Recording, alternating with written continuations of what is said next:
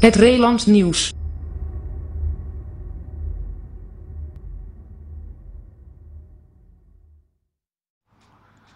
De troostbeestjes raken langzamerhand op, ook hier op de post op de Romboutslaan in het land van Valk.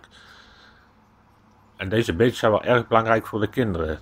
Tom de Kok legt uit waarom het zo belangrijk is voor de kinderen dat ze deze knuffel meekrijgen. kinderen die eh, geconfronteerd worden met ambulance hulpverlening, die zijn angstig, die kijken in het dagelijks leven al enorm op tegen ambulance diensten en tegen ambulances. En als die dan voor hun komen, dan is het nog extra spannend. Uh, ambulancepersoneel moet proberen contact te krijgen met, met zo'n kindje om het gemak te stellen.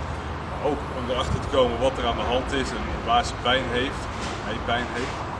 Uh, en dan, dan werkt zo'n beer heel erg ontwapenend. Geeft zo'n kind iets, je geeft zo'n kind een stukje troost, wat ze op dat moment echt heel erg hard nodig heeft. En het is echt een hele goede manier om contact te krijgen met het kind enerzijds en om er iets te geven om er, uh, om er te troosten. Contact opnemen met ons en dat kunnen ze via de, de website doen. of via een mailtje aan info.rapzhz.nl, dus ravzhz.nl.